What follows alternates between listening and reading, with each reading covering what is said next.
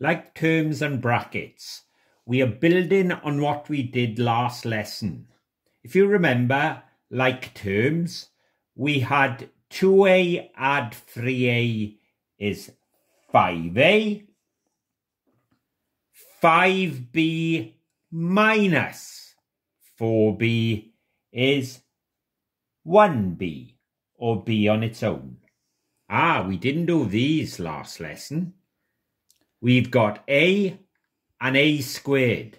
That is a completely different term from a. So I need to add the a's together and I need to add the a squareds together. So 3a add 4a is 7a.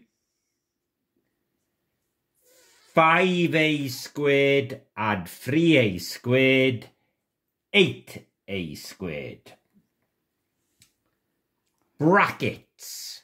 You multiply everything inside the bracket by what's immediately outside. So I need to multiply both the 4a and the 3 by the 2 two lots of 4a is 8a.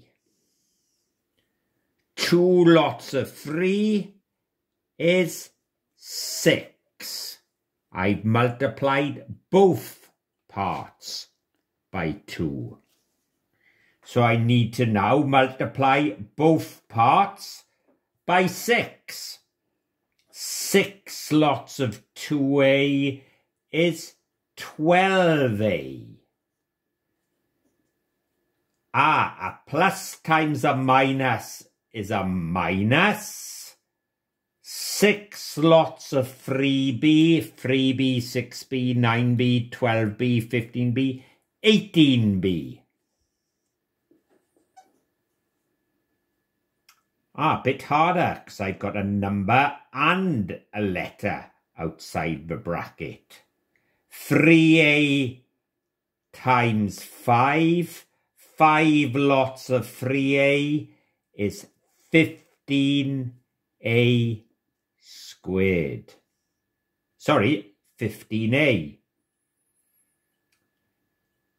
Ah, 3 times 2 is 6. a times a, a squared.